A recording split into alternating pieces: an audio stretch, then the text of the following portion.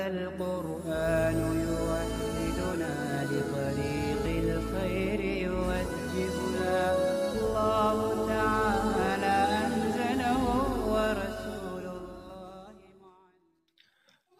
بسم اللہ الرحمن الرحیم عربی زبان کا یہ ہمارا چھٹا سبق ہے اور آج کا ہمارا سبق ہے عربی حروف تہجی میں سے نواں حرف ذال ذال سے عربی زبان میں بے شمار کلمات بنتے ہیں، جن میں سے کچھ یہ ہیں۔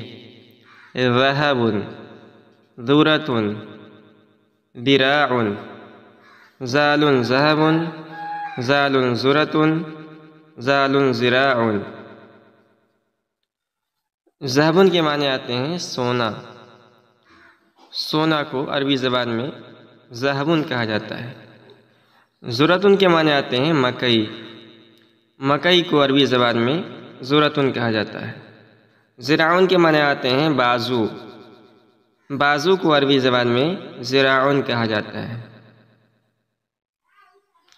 عربی حروف تہجی میں سے دسواں حرف ہے را۔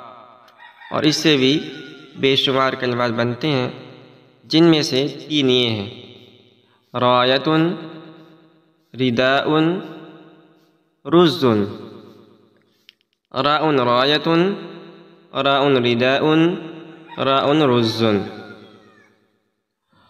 رایتن کے معنی آتے ہیں جھنڈا، عربی زبان میں جھنڈا کو رایتن کہا جاتا ہے۔ رداون کے معنی آتے ہیں چادر چادر کو عربی زبان میں رداون کہا جاتا ہے۔ رزن کے مناتے ہیں؟ چاول۔ چاول کو عربی زبان میں رزن کہا جاتا ہے۔